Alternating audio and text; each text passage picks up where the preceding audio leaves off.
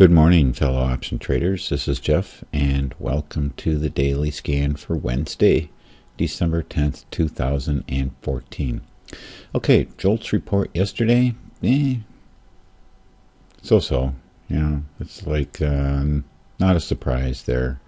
Today we have the stat petroleum status report at 10:30, and then a Treasury budget at two o'clock, which. Um, You've probably noticed because I would imagine anybody who watches this uh, is kind of aware of what's going on with the economy in the U.S.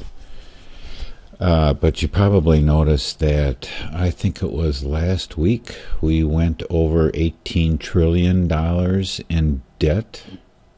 I believe it was last week. Treasury budget here is going to tell you how, what the deficit was. You can see the deficit here for um, the first uh, fiscal,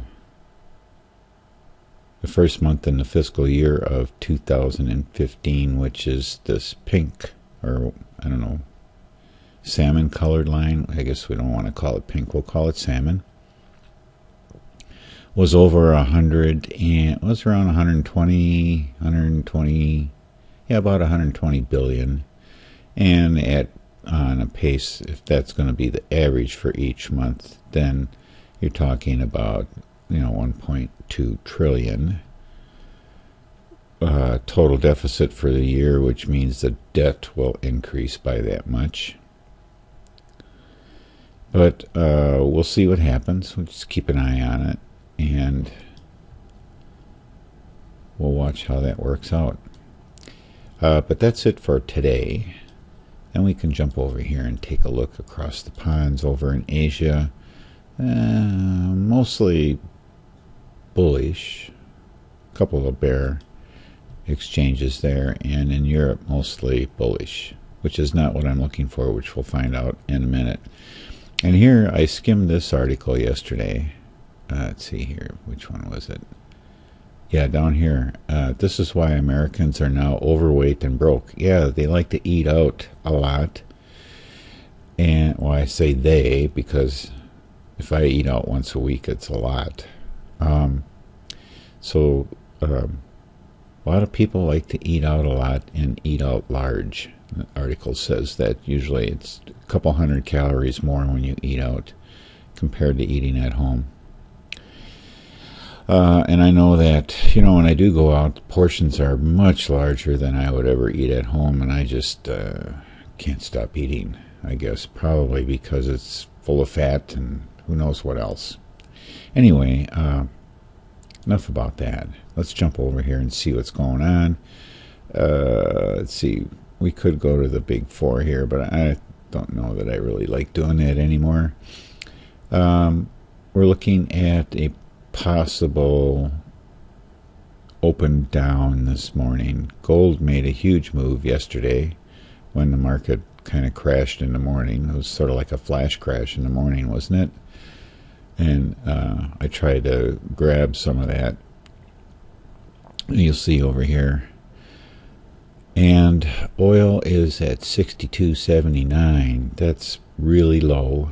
That's probably a new low if we were to look at that on a chart. Uh, this is a one year chart. Let's change this to maybe something. Uh, let's go to 10 years month. How's that? Yeah, whatever. Okay, so the low was 33.20 back here in January of 09. And this was um, the 08 crash. So what are we seeing here? Hmm. Well, you know, if oil is moving down, that means that's a good thing in some cases and not so good in some other cases. Uh, looking at the dollar, dollar's looking pretty strong here.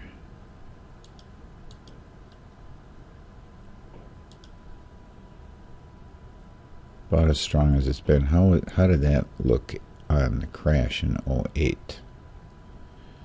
Here it is right here, and then it started to recover before the market recovered, which was March of 09.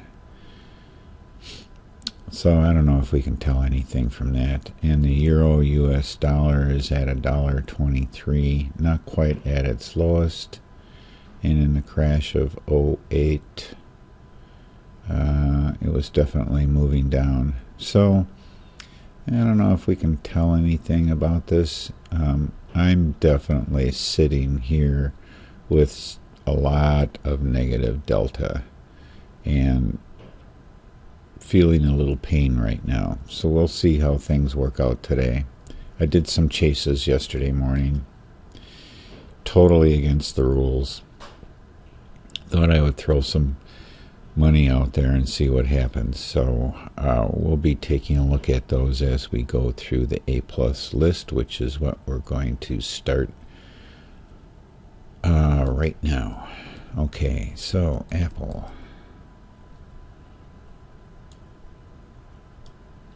Have a target set here, waiting for it to come back up and grab it. Amazon. Uh, target up here. Looking for some play there. Uh, Boeing.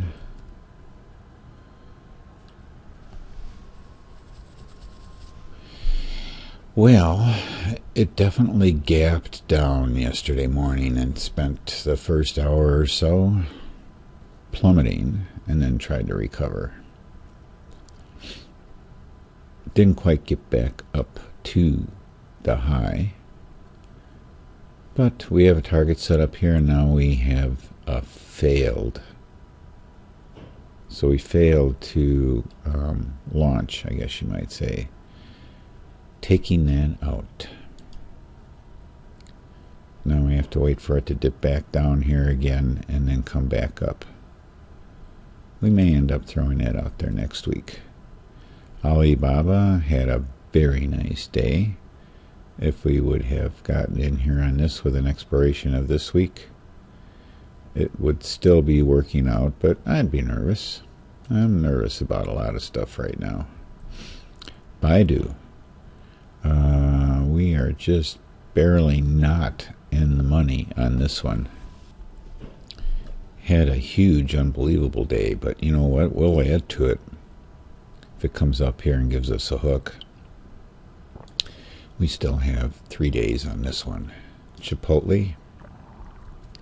Still choppy? Yep, still choppy. Choppy Chipotle. Costco actually did the Iron Condor on it. So let's take a look here at a chart. We'll do intraday for just like three days. And we'll do a five minute. We are at this morning 144.52 and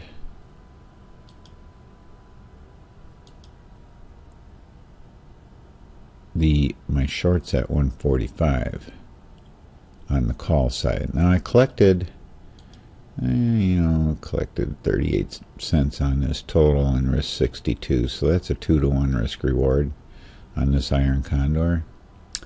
Uh, so we'll see how it works out today. This white line should jump up once we start getting prices in here and we get the new IV levels.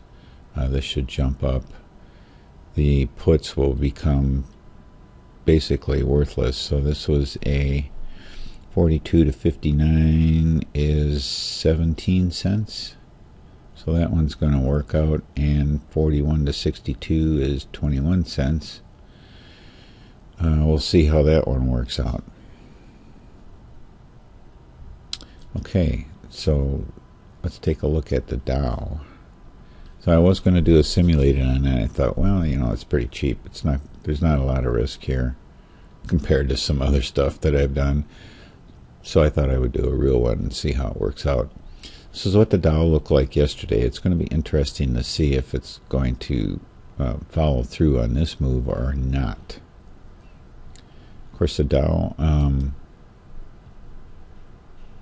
you know, the Dow's not really going with the rest of the market. in some in a certain sense. And the Nasdaq is definitely a lot more volatile, and I may not trade this puppy anymore as a cash index, just because it's so volatile. Uh, Russell is too, so I might just stick to SPX. We'll see. Next year, uh, we'll make that decision after the first of the year. All right, gold. Nice move yesterday. That's one of the reasons why I jumped in. I saw gold is screaming. Um, the market's crashing. So let's see what happens. Uh, Google coming up to our target. LinkedIn. Um, let's see, what are we looking at here?